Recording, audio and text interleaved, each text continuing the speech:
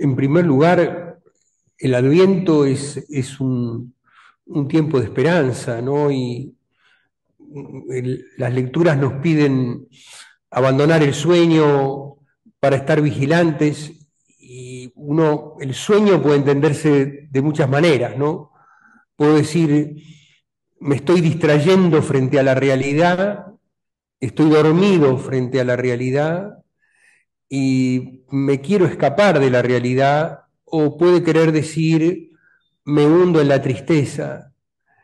Este, yo creo que una madre, una madre, una joven, una trabajadora, el ejemplo que nosotros tenemos de tantas mujeres en un momento del país tan difícil, tan duro, ¿no?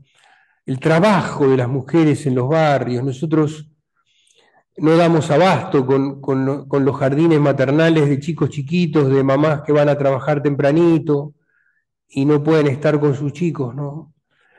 Ahí me parece que tomando el ejemplo de estas mujeres y de la Virgen que espera al Señor como nadie, es como el estímulo más grande para, para que no pierdan nunca la esperanza, porque tienen una gran mujer que no les va a faltar nunca y que nos va a enseñar a todos a esperar.